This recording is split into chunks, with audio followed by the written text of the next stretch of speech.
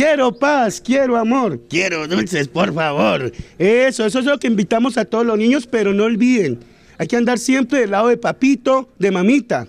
Papito y mamita, no permita que nuestros niños salgan solos a pedir dulces. Y ya sabe, Juancho, ¿cómo era que hago yo con usted? Vea, él siempre empaca en un papel los datos personales míos.